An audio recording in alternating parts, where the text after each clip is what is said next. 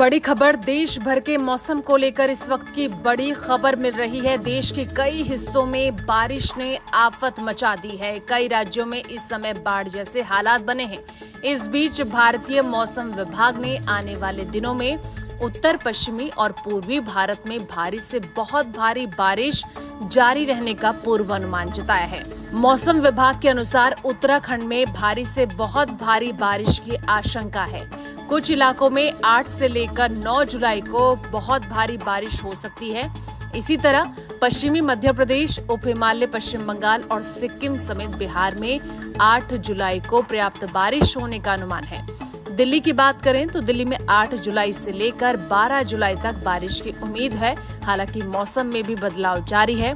मध्य महाराष्ट्र, कोंकण, गोवा, कर्नाटक में अगले दो से तीन दिनों में भारी बारिश होने की संभावना जताई जा रही है। जबकि हिमाचल प्रदेश, हरियाणा, चंडीगढ़, उत्तराखंड, उत्तर प्रदेश, पूर्वी राजस्थान, पूर्वी मध्य प्रदेश, पंजाब समेत कई ऐसी जगह हैं जहाँ पर अगले सप्ताह की शुरुआत तक कुछ स्थानों पर भारी से बहुत भारी बारिश हो सकती है। तो इसी तरीके से, जिस तरीके से देश भर के मौसम में बदलाव जारी है, कई इलाकों में बारिश का दौर देखने को मिल रहा है। दिल्ली से लेकर पर्वतीय क्षेत्रों में लगातार बारिश का दौर जारी है, लेकिन आपको बता दें कि उत्तराखंड में इस वक्त स्थिति बेहतर नहीं है। वहाँ पर बाढ़ जैसे हालात बनते नज़र आ रहे हैं, जिसने लोगों का जीना दूभर कर दिया है।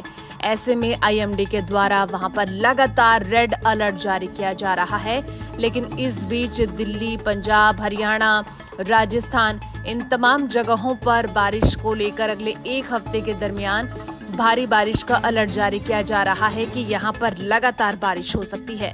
मौसम से जुड़ी ऐसी तमाम अपडेट्स के लिए आप देखते रहिए किसान तक।